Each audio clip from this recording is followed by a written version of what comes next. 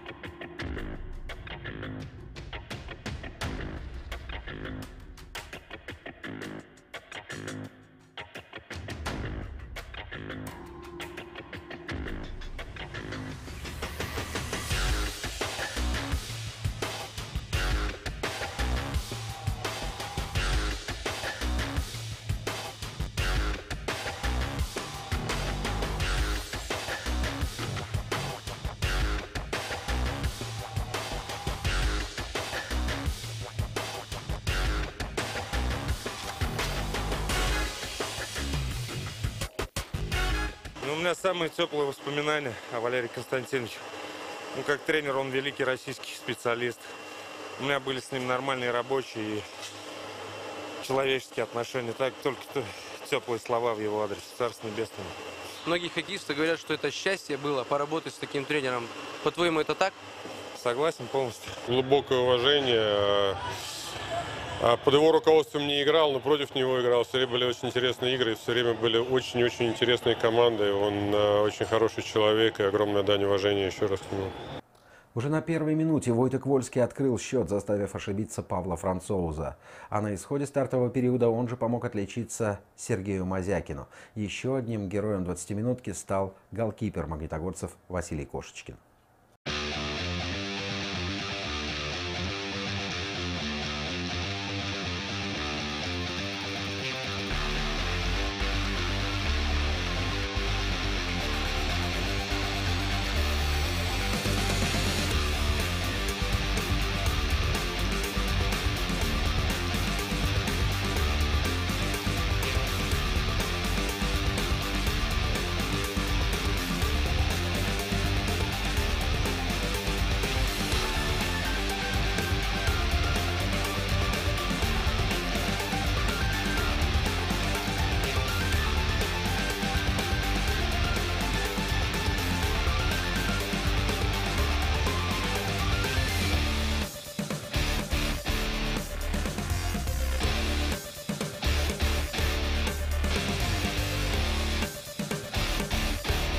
Так, если по-честному, то трактор поострее такую, считай. Три голевых момента было, просто нас вратарь сейчас выручает. Ну, сейчас надо грамотно играть, тренерское задание выполнять. И будем ловить трактор на контратаках. С точки зрения турнирных раскладов э, между вами и трактором пропасть, вот насколько э, трактор является для вас сильным раздражителем вот на данный период времени? Ну, здесь одно слово, дерби, Челябинск. Все, больше что говорить. Там можно магнитку обыграть и все простят трактор. В дебюте второго периода чешский голкипер ошибся еще раз, не сумев справиться с броском Богдана Потехина. В середине заключительной трети матча свою первую шайбу за «Металлург» забросил защитник-новобранец Денис Осипов. Василий Кошечкин как никогда в этом сезоне заслужил сыграть сухой матч, но гости все-таки сумели огорчить его, установив окончательный счет 1-4.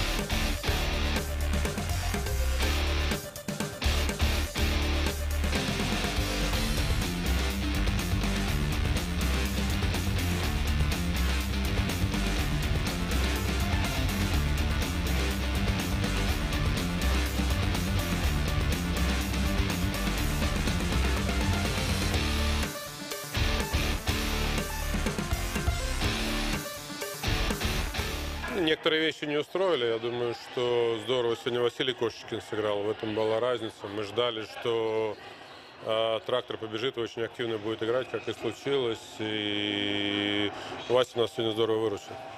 Спустя два дня в Нижнекамске магнитогорцы дважды выходили вперед. Очередную шайбу забросил Войток Вольский, а роскошную комбинацию в большинстве разыграли Сергей Мазякин, Данис Зарипов и Ян Коварш.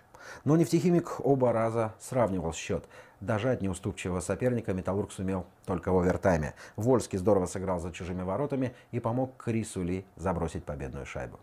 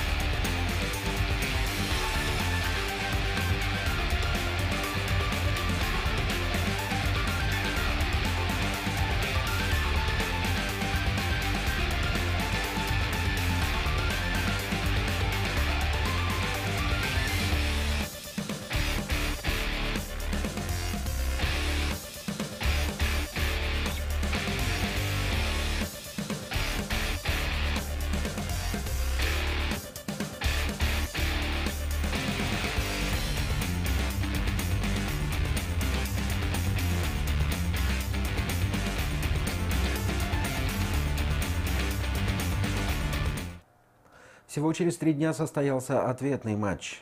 Стартовый период, несмотря на отсутствие голов, получился интересным. Он прошел с обоюдными шансами на успех, но чуть больше острых моментов создали все же хозяева. Однако там, где соперник предпочитал действовать без затей и идти на пролом, магнитогорцы порой слишком увлекались красотой.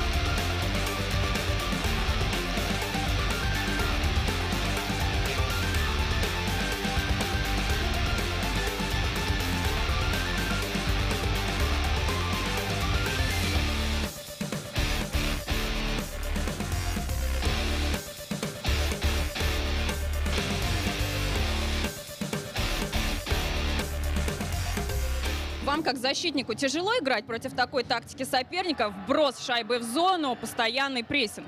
Не, ну конечно, это тяжело, когда тебя постоянно поддавливают, давят, прессингуют. Уходит много сил, чтобы выйти из зо- своей зоны. А, ну, в таких моментах надо как бы действовать попроще, побыстрее вывести в среднюю зону, а, и там уже постараться войти в зону. Есть моменты, их мало, но они есть. Чего пока не хватает? Не знаю, у нас такие позиции есть, которых надо бросать, а мы стараемся найти какой-то пас, улучшить позицию, надо побольше бросать и идти на добивание. Первой заброшенной шайбы пришлось ждать почти 38 минут. К этому моменту голкипер нижнекамцев Александр Судницын успел отразить два с половиной десятка бросков. Но оказался бессилен перед мастерством Сергея Мазякина, который умело замкнул роскошную передачу Войта Ковольски. А всего через 100 секунд настоящий класс продемонстрировал Алексей Береглазов. Для защитника это был первый гол в чемпионате. Ян Коварш на экваторе заключительного периода ювелирным броском послал шайбу в притирку со штангой. Вскоре убойным выстрелом дубль оформил Мазякин. Яркую точку на последних минутах поставил Данис Зарипов. А Вольский записал на свой счет уже третий ассистентский балл за вечер. Магнитогорцам оставалось лишь помочь Илье Самсонову заработать второй сухарь в сезоне. И им это удалось. 5-0.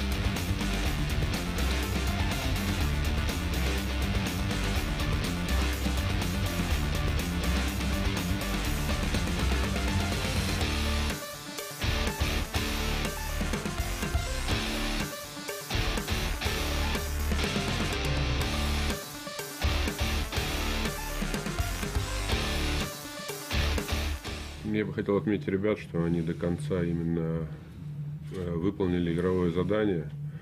Когда был счет 0-0, не отступили ни на шаг от него, а продолжали э, работать в том направлении или в том игровом задании, которое мы дали. Молодцы. Илья Петрович, э, очень непривычная ситуация, что молодому голкиперу в третий раз за четыре матча приходится уже выйти. То есть не было опасений, что вот как немножко все-таки опыта не хватит, он немножко поплывет.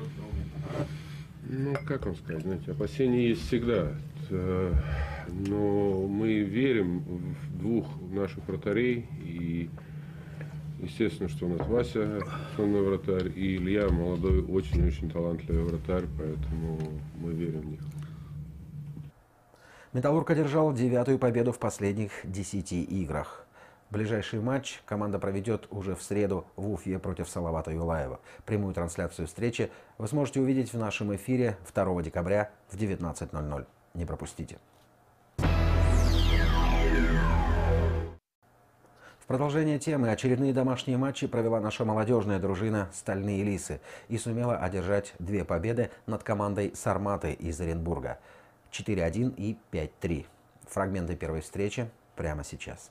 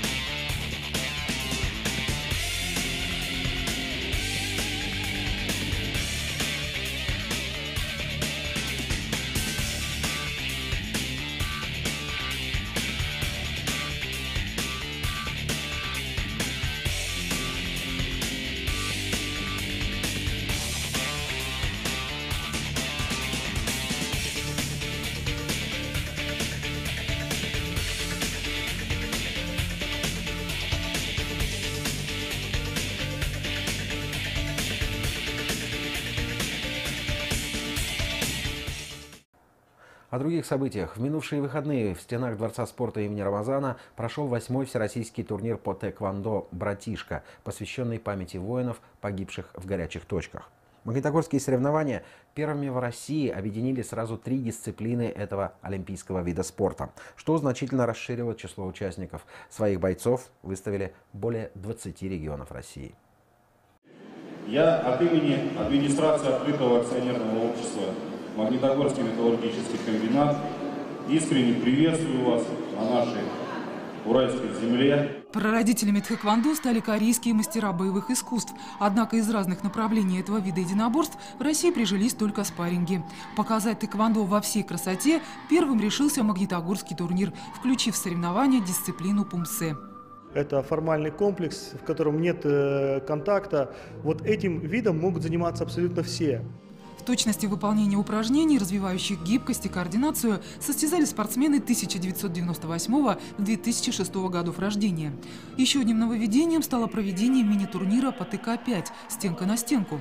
Выставляя спортсмена для поединка, наставник каждую минуту может заменить его кем-то другим, благодаря чему в одном бою из команды может принять участие от двух до пяти человек.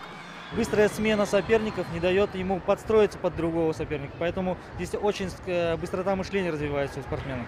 ТК-5, требующая от спортсмена высокого уровня мастерства, совершенно новая дисциплина тхэквондо. Попробовать в ней свои силы на турнире решились только сборная Челябинска и Магнитки. Этот очень яркий и зрелищный бой продлился не больше 10 минут, закончившись убедительной победой магнитогорских спортсменов. Самые же сильные страсти разгорелись в основном в виде соревнований одиночных спаррингах. В этом году они проходили при участии электронной системы судейства дает объективность. А, практически не участвуют судьи, электронные шлемы и электронные жилеты. Любое а, попадание э, оценивает э, компьютер, оценивает техника, э, учитывается точность и учитывается сила. Челябинская область сегодня лидер в российском тэквондо, поэтому основная борьба за награды развернулась вновь между челябинцами и магнитогорцами. За каждый балл вместе со спортсменами здесь сражались их наставники, которые прямо по ходу спарринга разрабатывали тактику ведения боя. В этой дисциплине в разных возрастных группах магнитогорцы заработали 18 медалей, уступив таки своим конкурентам. прикоснуться к чемпионам, наблюдая за соревнованиями детей. Такое сочетание удовольствий предложил на минувшей неделе горнолыжный центр Абзакова, традиционно первым в России открывший сезон турниром на призы фирмы «Атомик». Этот турнир уже третий год проводится в Абзаково и открывает спортивный сезон. В соревнованиях принимают участие дети в возрасте от 6 до 10 лет. Нынешние старты собрали небывалое количество участников – 77. Впечатляет и география спортсменов – Магнитогорской секции, Белорецк, Москва и Центральный регион. Тренеры и инструкторы центра в один голос заявляют о выросшем в разы мастерстве юных спортсменов. От этого сами по себе зрелищные спуски могли стать и поводом для посещения ГЛЦ и общения с олимпийскими и мировыми чемпионами. Ситуацию, когда в одно время и в одном месте собралось столько светил горнолыжного спорта в Абзаково называют уникальной. Вряд ли это когда-то повторится. У нас на сегодняшний день в Абзаково тренируются все горнолыжные команды сборной России по горным лыжам. Это и команда А Кубка мира, и команда Б, и команда С, и все команды по сноуборду. Они сейчас вот здесь находятся на сборах. Так что у магнитогорцев и гостей города есть возможность не только покататься на заснеженных склонах Абзакова, но и получить своеобразный мастер-класс от ведущих спортсменов. На сегодня у меня все. Наш следующий выпуск ровно через неделю. Будьте здоровы, живите активно. До встречи на спортивных аренах и в эфире телекомпании ТВИН. Удачи!